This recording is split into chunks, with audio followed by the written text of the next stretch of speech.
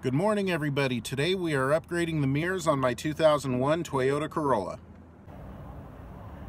So the mirrors that I have on here now, they're still in pretty good shape. However, if you want to adjust them, you got to reach outside and do that. With the mirror on the passenger side, I already changed it out. And the nice thing about this one is you can adjust the mirror from the inside of the car. So, probably the easiest job ever. All you need is a flathead screwdriver, a Phillips head screwdriver, and a ratchet with an extension. And this should work if you have the Chevy Prism as well. So, we'll go ahead and start by taking a flathead screwdriver and just popping off this cover. Just snaps off like that.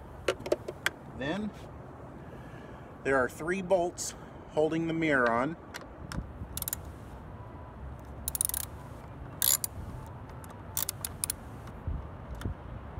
Just loosen them up and then they should come off by hand.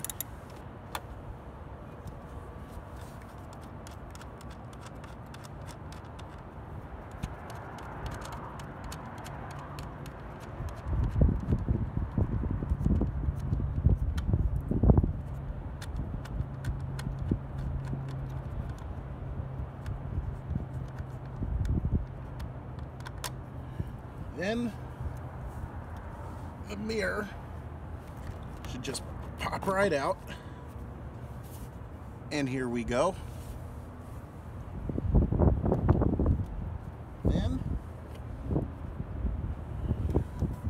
we'll go ahead and grab our new mirror, take a screwdriver, a Phillips head, and remove this screw that's holding in the handle.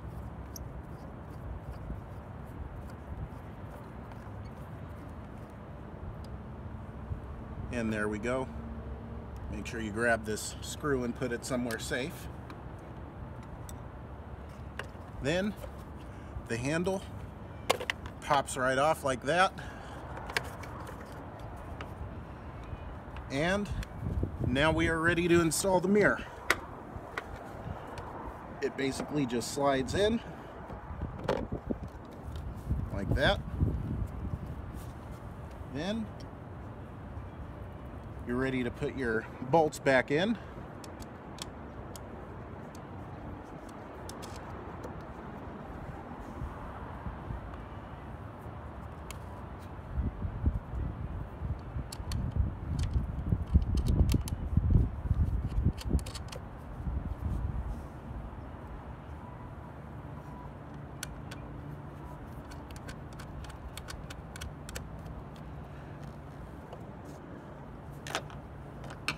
Then grab your ratchet, tighten them up.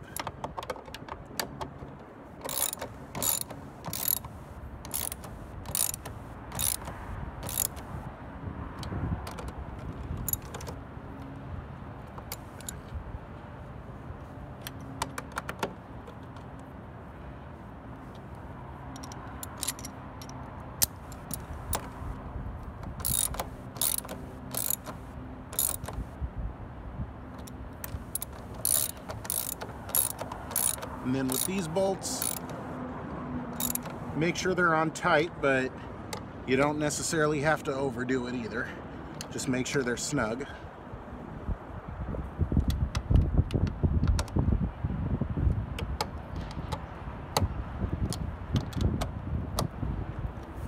And there we go. Then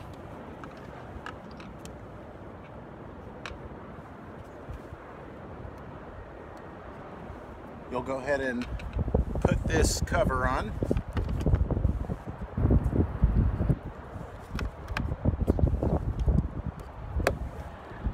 There we go. Then the handle goes on. Take a Phillips head screwdriver, screw it in.